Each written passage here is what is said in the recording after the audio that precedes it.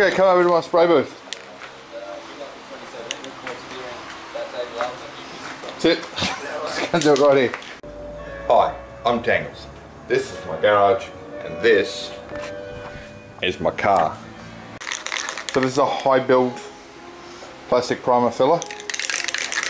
Uh, and it's the same brand as the color match stuff so I think it probably wouldn't matter I think it's a bit of a wrought but just in case chemically this goes better with the other one I did buy this one it was the same cost so I bought the same brand filler so rattle the um, teeth in the can for a bit and we'll slam it on so just to ensure that there's no undue dust, I've turned the fan off that keeps me cool while I'm working in here. Um, there'll be no dust kicked up. I've cleaned all this with the um, wax and grease remover. And now I'm just going to prime all the um, bulk areas and all the areas where there's no paint left.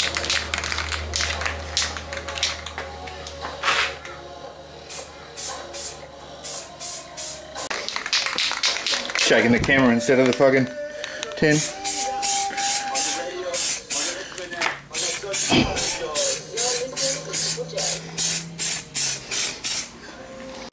So yeah, unfortunately, because it had been dragged along the whole edge, I pretty much had to paint all that, the primer. Now, you might be worried about this, but none of this is visible when it's on the car. This is the bottom side, so it's not that big a drama. I've gone quite an effort on the area at the front that you'll see from a distance but uh, you would never see up close but anything that's actually underneath, straight up underneath not too bothered by there um, I don't put too much of this on, it is a high build but I will put it on the colour coats um, the idea is to put the least amount of primer as I can and use the paint that is already there as the prime for most of it. Uh, so once this dries, I'll give it one more coat. So I think it said 30 minutes on the tin. Where are we? Uh, allow five minutes between drying between coats. There you go. So I'll give that five minutes. I'll put a second coat on. It says three to four coats, but this is not a bare item. Um, so I'm just going to do two coats and then I'll let that dry a bit more flip it over repeat on all the frontal and um, top side visible surfaces I mean that right there really is going to be covered by the light. When it goes in there but can't hurt. And then once I do all that well I'll do that first and then I'll see what I've done. Alrighty second coat on. It looks just like the first one. Except thicker? Okay. Uh, yeah, priming this side now, Turned it over. Another thing, you should start at the top and work your way down because if you get a run, you can paint over the run, you know, rub the run out and then paint over the, where the run went down. Um, design trick, I think it's fairly common that people know that, but just in case.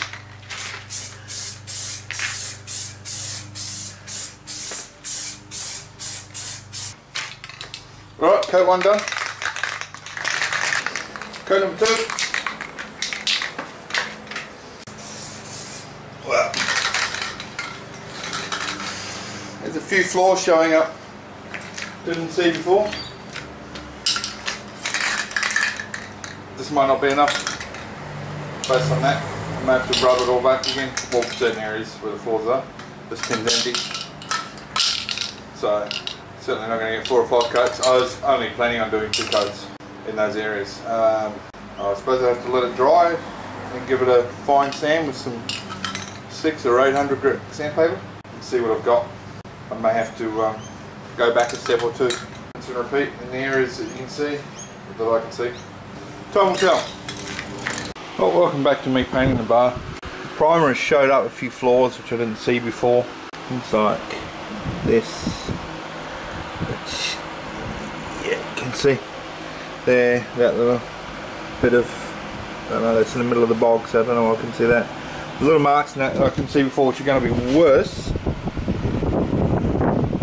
once I um, paint it. Now, not too, like I said before, not worried about what's on the underside here. No one's ever going to see that. So I don't want to make that pretty. You know, I don't want to fill all this piece of bog and the first time it dries over something, it breaks off and you see it anyway.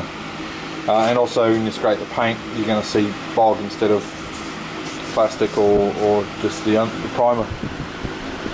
Um, so I've got more sanding to do by the look of it. Um, I'm not too worried about sort of that that so much, but of when it starts getting down here, it's getting in the in the visible eye line when the bar's on the car. So this is the underside, and I'll do the underside first, um, and then I'll do the top side. I've gone and bought more primer. Um, so yeah, I'm just going to sand out the stuff that I can see now, that I couldn't see before, and uh, yeah, paint this. Uh, oh, and then turn it over. Sorry. Yep, I'm not thinking straight. Then turn it over and do the other stuff because there is other stuff, uh, and then reprime it. I suppose is the the way forward. All right. So it's not going to be finished tonight. One simple reason. This area here straight up needs bogging, which is why I've sanded it so aggressively. The rest of it I've been able to sort of rub back. And another coat of primer, high build primer should be alright as far as um, filling the small imperfections is concerned. But uh, that, that's straight up bog territory that one. So I'll mix up a little bit of bog and bog that up and that'll do me for today. Alright, that bog's had overnight set. Uh, shape, sand, reprime is the plan. Try not to snap any on this one here.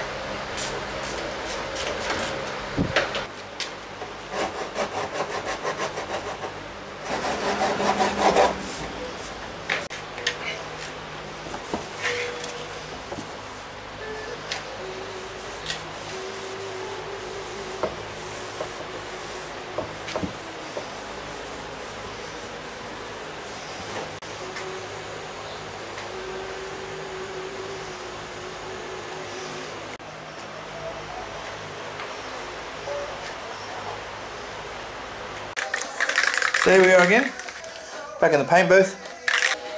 Right, first heavy coat on the side is on.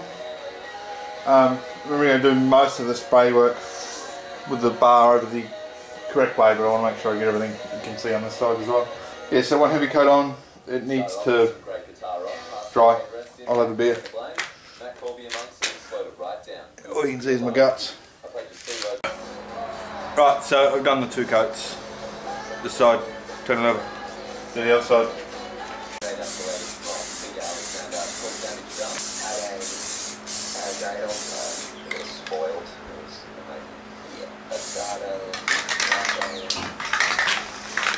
I can still see imperfections there. You can't see them until this goes on. There's less than there was, but I don't have to keep priming, sanding, priming. This is very time consuming. And more instead of another tin of brine. Put a second coat of this on though.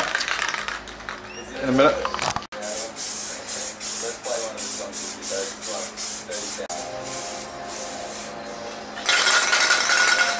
Another can down. Alright, a couple coats in. About an hour and a half after I painted it. says you can sand after one hour. I think one of the bigger problems with picking up the flaws has been light, so I've got some more light. Uh, and I've got 800 grit sandpaper. So the plan is to gently rub this whole thing down, and if there are any impurities, sand them out if need be. So what I've come across here is a slight imperfection. I don't know if you can see it. Just here. If I can feel it, I'm going to be able to see it when it's painted. So I'm just going to go to the 400 grit on that, which is still quite fine. But not as fine as the 800.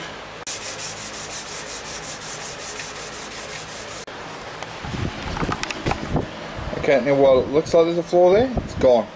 It's completely gone.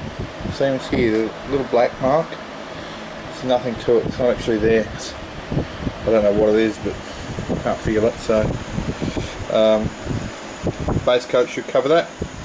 Should be fine. And that's the plan, just with all the imperfections and blemishes, blemishes, yeah, blemishes, no, blemishes, all the imperfections. Um, I should just do that, and uh, yeah, hopefully I can put some base coat on it this afternoon. Need to do the whole thing again. So I'll give this a quick rub down with the 400, not take much off, rub out any blemishes I can find as best I can, and prime again. I think, you know, I mean that's sort of what it's for, you you block it out, well I've heard that phrase used, you, you prime it, sand it, prime it, sand it, and get rid of all your blemishes.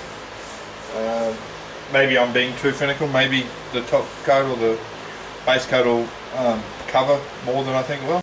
Okay YouTube, it's a new day, I've got better light. This is still sanded the shit out of this, obviously I did that before. Uh, I think this might have run out of camera or space, uh, battery or space. Um, so I've really, any of the flaws or anything I can find in it, I really, really aggressively sanding because I'm sick of putting coats of primer on it to see flaws in the paint. I've spent this much effort, time on it, I want it to be good when it's done. So I'm getting, I'm pretty sure I already said it before I went aggressive. Um, and I've done half the bar. I got this half to do. I actually gave myself blisters from so much sanding and sanding so hard. Um, I'd use a block but everything's a curved surface so I'm trying to keep it moulded to the surface and not um, I guess squaring it off too much. Yeah, so I'll plug my light back in and keep sanding.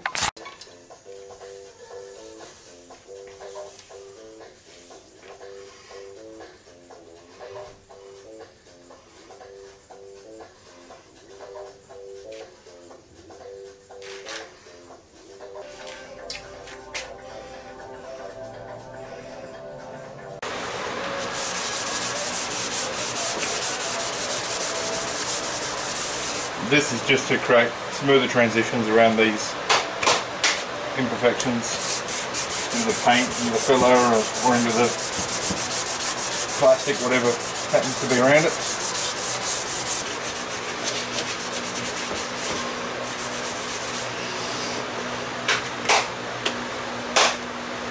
Yeah. Alright, ready to go again. Another coat of paint. There's blemishes in it. I don't know what I'll do because I mean I've gone into the plastic in some of these areas to, to remove it. Some areas I've just gone through the upper layers of paint, some areas I've gone all the way down so I guess we'll just have to wait and see. Um, this is why I don't really call most of my videos how-tos because this is not how you do it I would imagine. I imagine you would do it better because this has taken way too long, way too much time and effort on this. But I've gone this far, I've got to make sure I've done it right. There's no point giving up, going half-assed at this point. So, just another coat of paint, another prep, until I'm happy with it, and then I'll put some base coat colour on it. Um, the amount of uh, primer this has taken, I'm worried that the two cans I have is not enough. I may have to get another can of the um, the base colour. Uh, and I have to get that mixed so I mean it's not that big a deal. It's just super cheap but uh, yeah should be fine. Okay here I am in my paint booth again for my third attempt at undercoating this. Um, yeah speak for itself really. I'm getting a bit annoyed with it but um, it's got to be done right. Uh, Obviously I'm doing something wrong somewhere in the prep work. I can't see these flaws until I paint it. I don't know why. And maybe you wouldn't see them when I put the top coat on and everything else, but I'm just not sure. I can't be sure. I want to make sure it's right. So the flaws have, the flaws have been there the whole time because I've had to go through most of them, all of the layers of paint to get them out. So maybe they're not visible on the bar. Um, Maybe I just didn't look close enough. I don't know. End result is this is my third attempt at um, priming this bar. And if it doesn't work this time, I don't know what I'm going to do. I'll probably just do the same thing over and over again until, until I get a bar that has no flaws in it. But I'd really rather not do it again because it's getting tedious.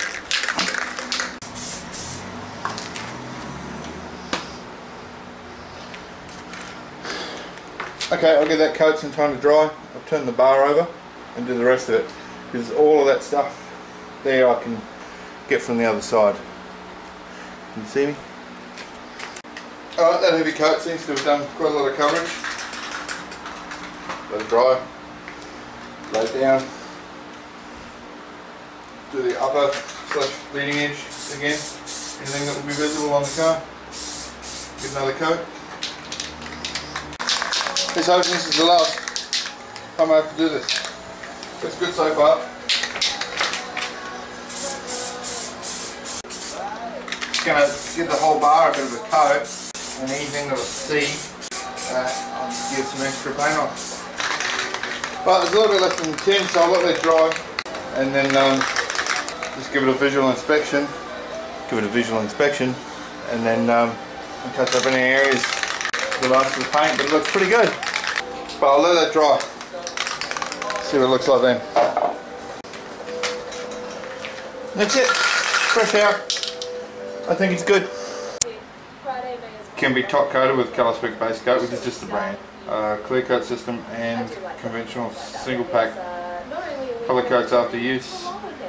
Uh, after using it, spray it to unlock the nozzle. So it doesn't actually say how long.